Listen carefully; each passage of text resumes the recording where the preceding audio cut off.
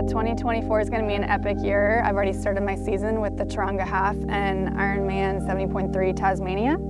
Next, I'll head to Taupo for Ironman New Zealand and then take on the PTO circuits. So PTO Singapore, PTO California, and PTO London, and then it'll be time for the Ironman World Champs in Nice.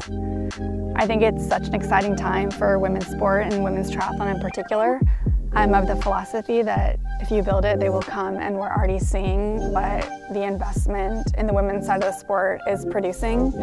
The races are incredibly competitive and deep and dynamic. You have to implement tactics and you can't have a weakness across swim, bike, run. You have to be excellent in all three sports. So it's awesome time to be alive.